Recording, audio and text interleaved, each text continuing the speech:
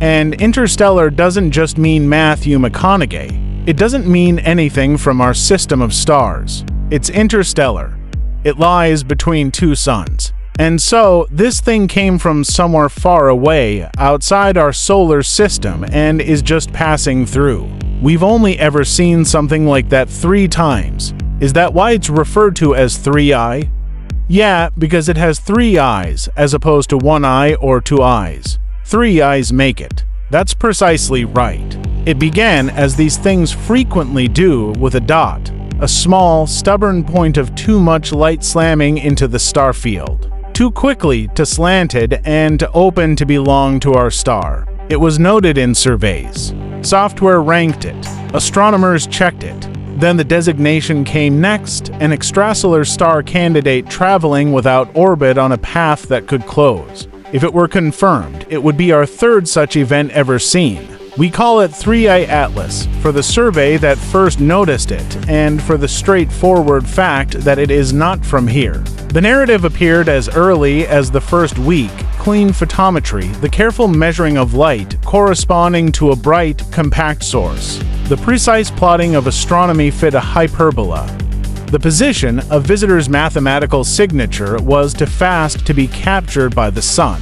Early orbit solutions were in agreement. It would arc in, skim across the inner system from a high angle, and gradually blend into the dark again. Yes, it's interesting. Dangerous? No.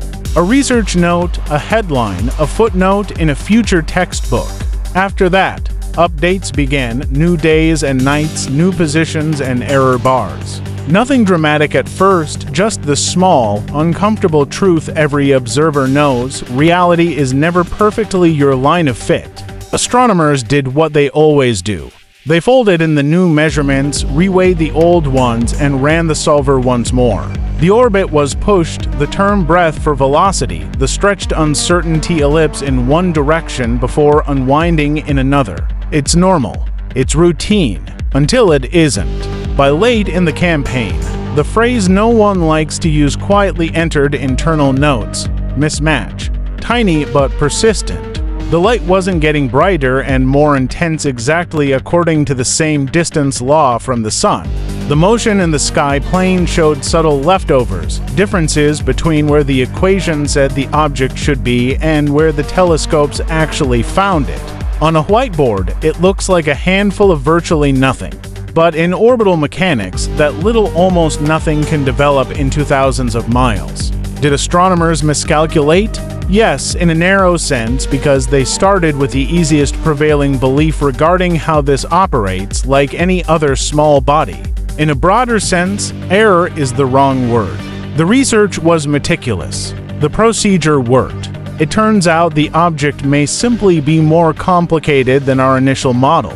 Why is this important? These are not rails and rocks. The sun warms them, ices vaporize, gas vents. A wellspring of microscopic dust forms and disappears.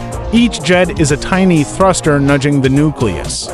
For most comets, the non-gravitational acceleration is weak, messy, and generally far away from the sunlight. By adding a few parameters and terms, a small push here, a small push there, the fit gets better. With a quick, weak interstellar object, there is a problem. There aren't many photons, not many nights, and no second chances. So you take exquisite care. Tie every measurement to reference stars, calibrate each color term, and you must still choose. Do we incorporate non-gravitational terms? If so, how many? If not, are we pretending away real physics? That is what this is all about miscalculation. The first public orbit solutions utilized the most pristine gravitational model. As new data came from additional telescopes, the residuals suggested that a purely gravitational path was not revealing the entire story. At a physically reasonable outgassing and the fit gets better. However, the uncertainty now grows because you've increased the model's freedom. It is not a lack of skill, it is the cost of honesty. If you're looking for this to be a terrifying tale, it isn't a secret engine or a hidden message. It's uncertainty itself. a degree in the amount of a few thousandths in angle coming in, a few tenths of a kilometer per second in skyplane velocity, advanced over several months becomes significant shifts in position later. The community keeps updating predictions, not because the sky has changed its thoughts, but because the model has absorbed more truth.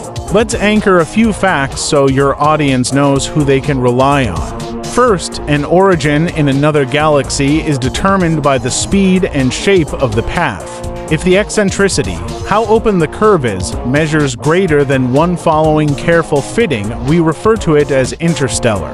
That's the same criterion used for Oumuamua 1I and Borisov 2I. The 3I Atlas is being treated the same way, evidence-driven, not hype-driven. Second, we have no credible evidence of radio transmissions, thermal heartbeats, or any artificial behavior. If anybody asserts that, ask for the observatory, the observing log, the frequency, and an independently verified analysis. Sensational claims are clicks, careful claims are citations. Third, the phrase slowing down needs context. Objects on open, sun skimming paths always trade speed for distance. Gravity causes their outbound deceleration, it's weaker farther from the Sun, just as it's stronger closer in. Kepler, in its purest form.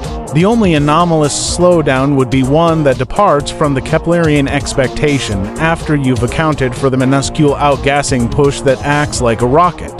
The teams are evaluating that. Can a realistic, physically motivated model reconcile the non gravitational term with the data?